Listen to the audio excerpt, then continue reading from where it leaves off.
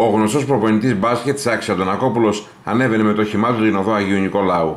Ξαφνικά, στο ύψος της Κανακάρη, η οδηγός ενός αυτοκινήτου μάρκας Πεζό στρίβει αριστερά. Παραβιάζει προτεραιότητα και συγκρούεται με το κίτρινο όχημα του πατρινού προπονητή, ο οποίος αντιλαμβάνεται τι θα συμβεί και την τελευταία στιγμή στρίβει το τιμόνι του, ώστε να μην πέσει πάνω σε θαμώνες καφετέριας που αμέριμνοι απολάμβαναν τον καφέ τους. Ε, ανέβαινα Αγίου Νικολάου, ο άνθρωπος ερχόταν κάθοδο του Αγίου Νικολάου και δεν ήξερε καλά την πάντα από ό,τι παραδέχτηκε και έστριψε αριστερά πάνω μου, έπεσε πάνω μου.